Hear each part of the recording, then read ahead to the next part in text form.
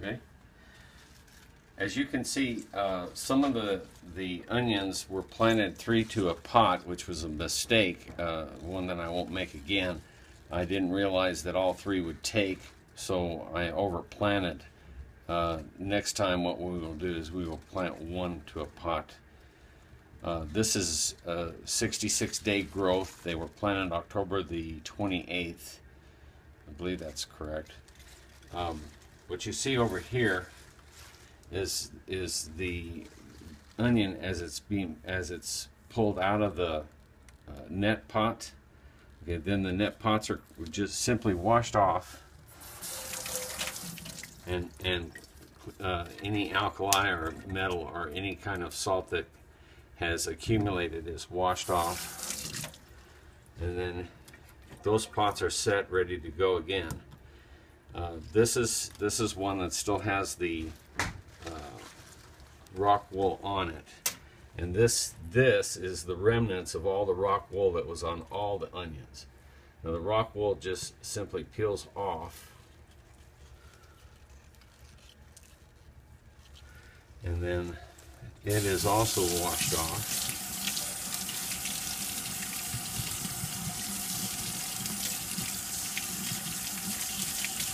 Leaving you with clean, pristine onions. The chefs that we're working with, uh, they are uh, going to be using the roots for root onion soup, and they're going to be using the tops of the plants for uh, uh other recipes, uh, possibly in the onion soup, possibly for something else. Um, but I've been um, told that these onions, while they're still in water, will last up to an additional week or so, uh, in, in refrigerated, of course. Uh, the chef told me that he will be able to use the whole top. Nothing on this onion will go to waste. Uh, my wife and I have already pulled the onion from here that we will be using and this is the excess that we will be sending down to the El Paso mustard seed. It is a uh, type of soup kitchen that we have here in El Paso.